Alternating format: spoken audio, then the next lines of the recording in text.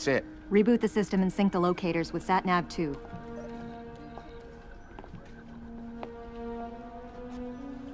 Jack, Ryan, I'm sorry to have to do this, but I need you to come with me. Kim, go wait in my office. Dad, I... Kim, please.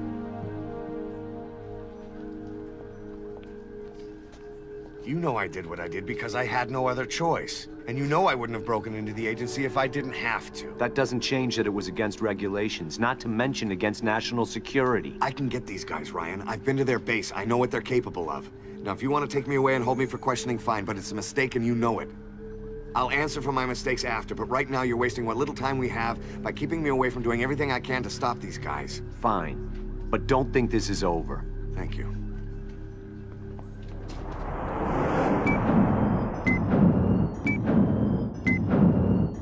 The following takes place between 9 p.m. and 10 p.m.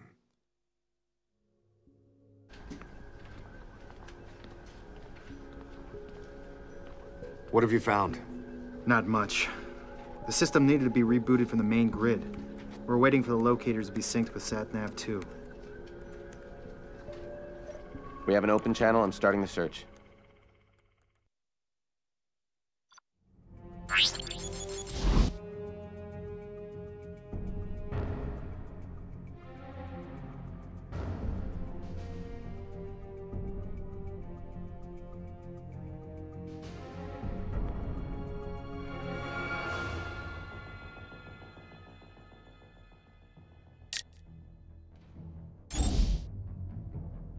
Okay, Adam. I've uploaded the trigger mechanism's radio frequency into the system, so all you need to do now is locate the frequency emitters and lock onto their positions.